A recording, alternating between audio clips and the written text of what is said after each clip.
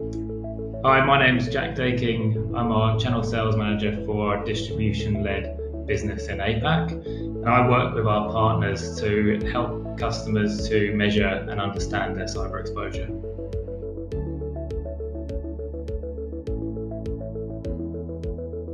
So, it's important to take a risk based approach to vulnerability management, as legacy VM tools are really no match for today's complex IT environments.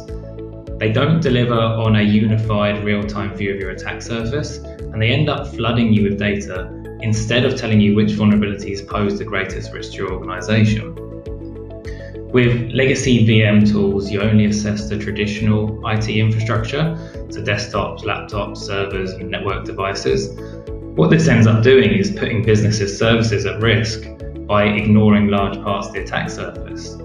With a modern VM tool, we're able to see the entire attack surface, including traditional assets, but also mobile, web apps, cloud, container, IoT, and now even across IT and OT.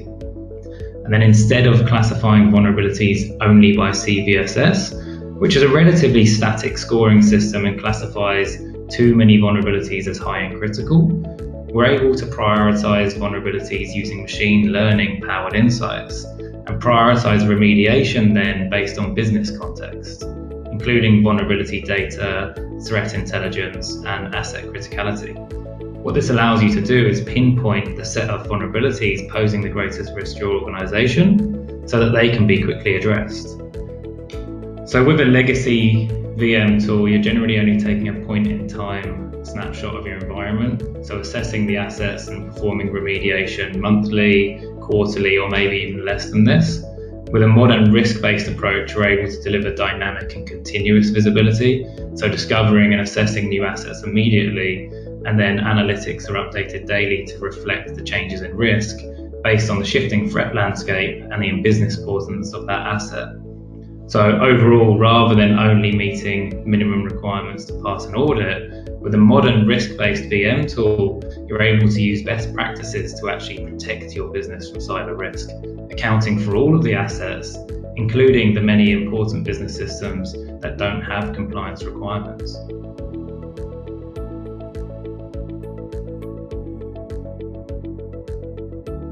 Yeah, sure. So, in its rawest form, a vulnerability assessment is the practice of identifying and mapping every asset within your environment and then understanding the vulnerabilities, misconfigurations, or other health indicators that lay within those assets. The difference between an assessment and vulnerability management is that the vulnerability assessment is really just a point in time understanding of the assets and vulnerabilities when you run that scan. Vulnerability management is the practice of continually identifying, prioritizing, and remediating those vulnerabilities to reduce your cyber exposure.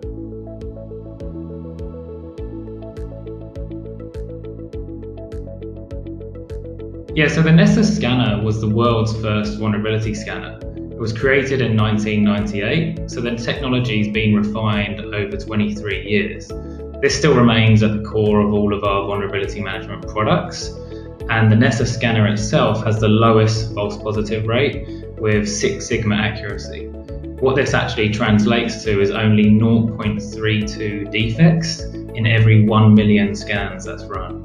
And when you couple that with the fact that we've got the broadest coverage of CVEs, you can have confidence that when you're running scans, you're not only doing it accurately, but across the full spectrum of disclosed CVEs.